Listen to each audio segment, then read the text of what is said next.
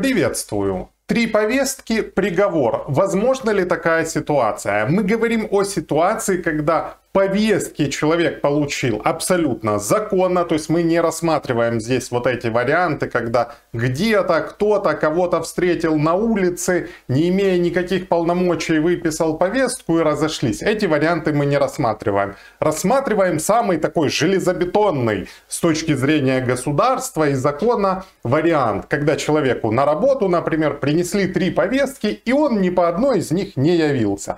Вот возможен ли в этой ситуации приговор приговор, то есть возможно ли привлечение к уголовной ответственности за неявку именно по трем повесткам. И мы говорим о повестках, которые человек получил до прохождения ВЛК. То есть это не повестки на отправку. Это можно называть как угодно, повестки там на уточнение данных, на ВЛК и так далее, неважно. Но это не повестки на отправку. Итак, здесь есть два, скажем так, измерения, да.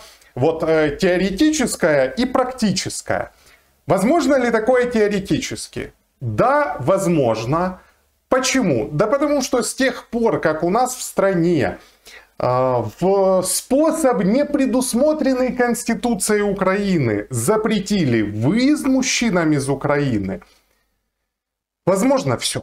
Вот мне кажется, что после этого возможно просто все. И я напоминаю, что то, что я говорю, что на сегодняшний день запрет на выезд не соответствует Конституции. Почему? Потому что в Конституции, как мы знаем, сказано, что запрет должен быть установлен законом. Закона, устанавливающего запрет на сегодняшний день, нет. Этот факт подтверждает Верховный суд в своем решении, а дальше, мы все прекрасно помним, публичный интерес.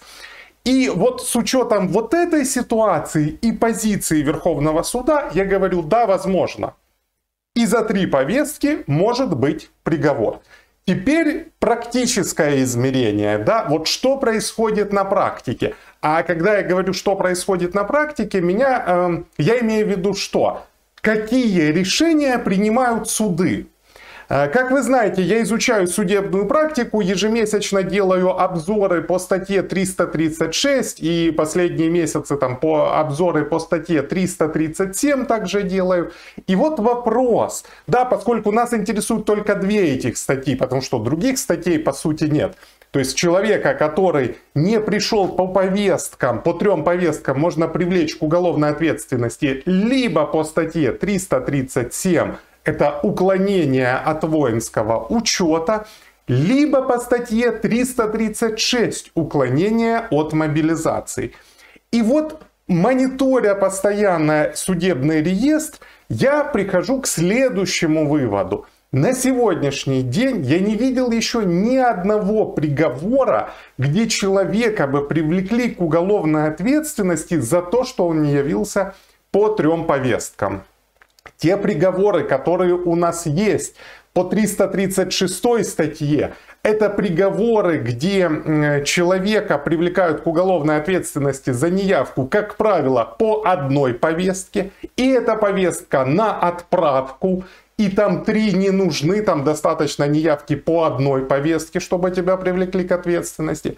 Когда мы говорим по статье 337, там, если вы помните, я в свое время вас пугал и говорил, что да, там может быть такое, что там первая, вторая повестка и после второй могут привлекать. Но там тоже судебная практика пошла по другому пути. Там судебная практика привлекает людей к уголовной ответственности только в одном случае.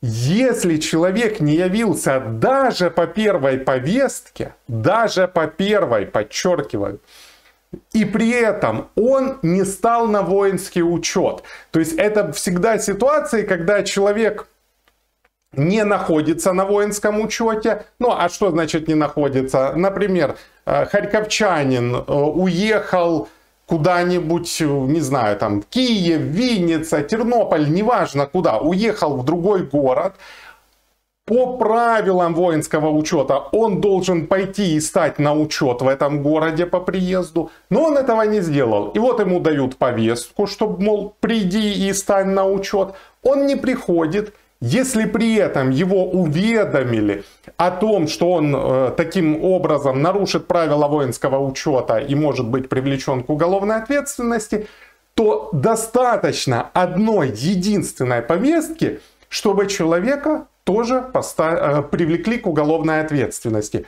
Но еще раз подчеркиваю, здесь речь идет исключительно о тех людях, которые не стали на учет и нарушение которых состоит именно в том, что они не стали на учет. А если человек находится на учете, живет, например, в Харькове, ему там каждый день выдают повестки, то давайте ему хоть 10 повесток, привлечь к уголовной ответственности его нельзя. Почему? А не предусмотрено, потому что за это предусмотрена только административная ответственность.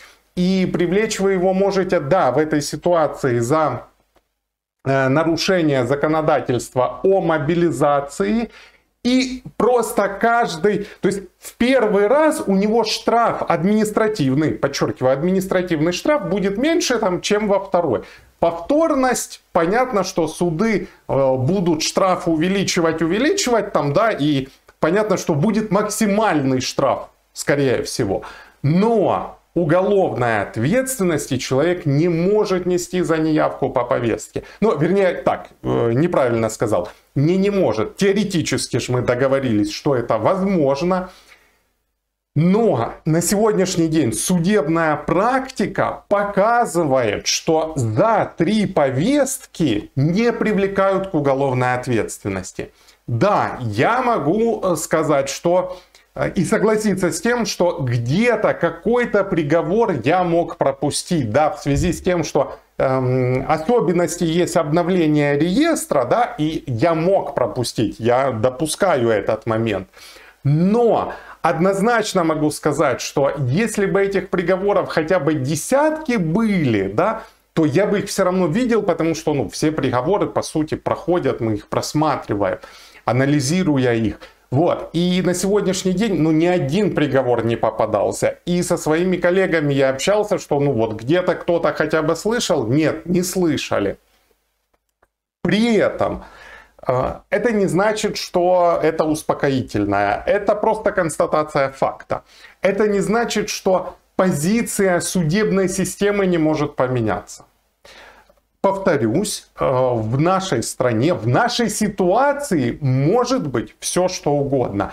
И Э, как вы знаете, особенности права в том состоят, что когда у тебя есть задача, особенно когда эта задача продиктована какими-то политическими мотивами, обосновать можно все.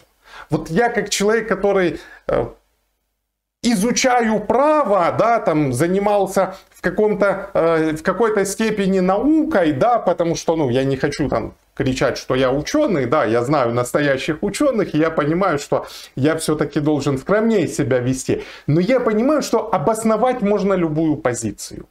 Если будет задача, если поставят задачу за три повестки привлекать к уголовной ответственности, будут юристы, будут судьи, которые найдут правильное, красивое обоснование, которое будет выглядеть красиво с теоретической точки зрения. Но в конце концов категорию которая нам известна, публичный интерес, никто же не отменял.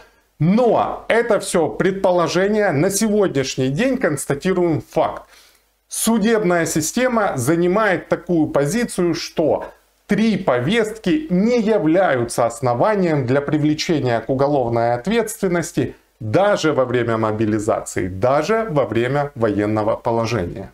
На этом у меня все. Если вы считаете, что данное видео было полезным, поставьте ему лайк, подпишитесь на мой YouTube канал. Также приглашаю вас в свой Telegram канал. Там информации гораздо больше и появляется она оперативнее, чем в YouTube канале. Также я там стараюсь отвечать на ваши комментарии, на ваши вопросы в комментариях.